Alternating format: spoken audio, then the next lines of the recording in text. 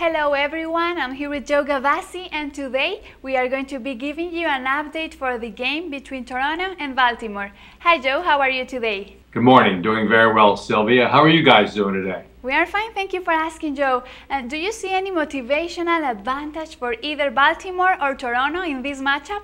Actually, I don't, and that's a key part of the game. If we look at last night's game between the Angels and Seattle, the Angels had just clinched their divisional crown the night before. Seattle came in and blew them away 13 2. That might normally be a problem for Baltimore today as they just clinched their divisional crown last night. But that disadvantage for Baltimore is clearly offset by a Toronto Blue Jay team who is all but out of it for the wild card race.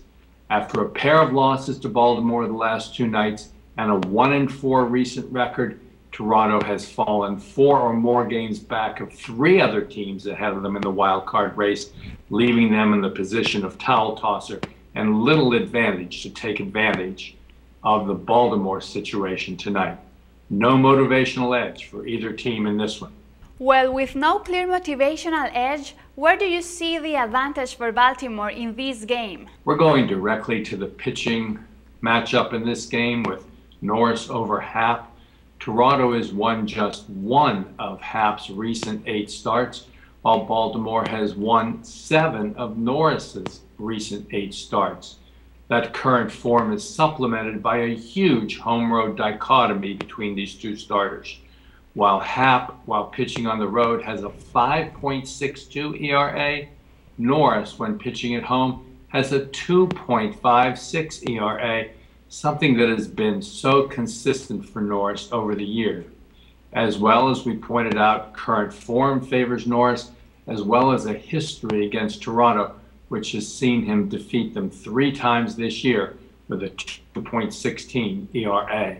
I see. Now, Joe, with the current realities you have outlined, what is the final deciding factor for your choice in this election? I think as with every game we handicap, in baseball, football, and basketball, we're always looking for value.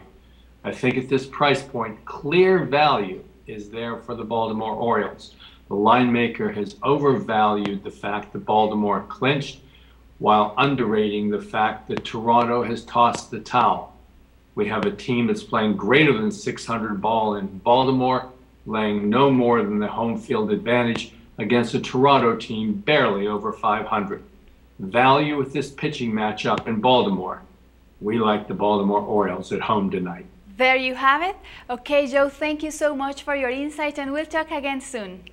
My pleasure. We'll talk to you guys real soon. Good luck out there, guys. Good luck, everyone. For SBR Picks, this is Sylvia. The SBR network offers free sports picks and game breakdowns. Big money free betting contests year round a real-time Vegas-style odds monitoring service, and much more. So come see for yourself. To stay updated on SBR news and promotions, follow us on Twitter, Facebook, and Google+, and do be sure to subscribe to the Sportsbook Review YouTube channel to catch all our daily sports shows.